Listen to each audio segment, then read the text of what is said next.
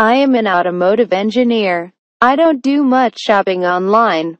Recently quite a few of coworkers and friends got hooked on 3D printing, and the stuffs they cranked out quite impressed me.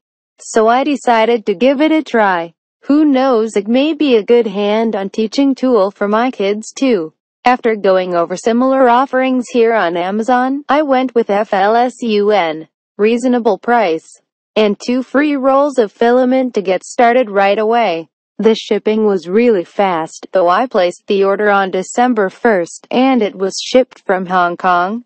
It arrived on December 6th on regular and free shipping. Lots of stuffs in the box, lots of parts. Assembly took a while. Well, it is what I expected and good experiences for my kids.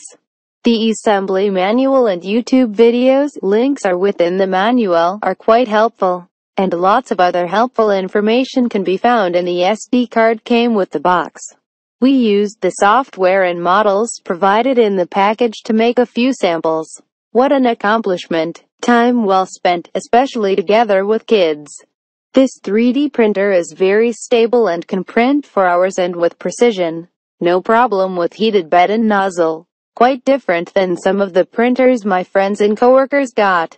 You can tell the printed objects are free of major blemish, the overall precision is pretty good. Auto leveling can be better. I used auto leveling plus manual leveling.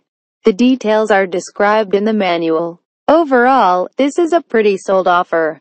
There are tons of much more expensive ones out there. But this got all the bells and whistles, and works great.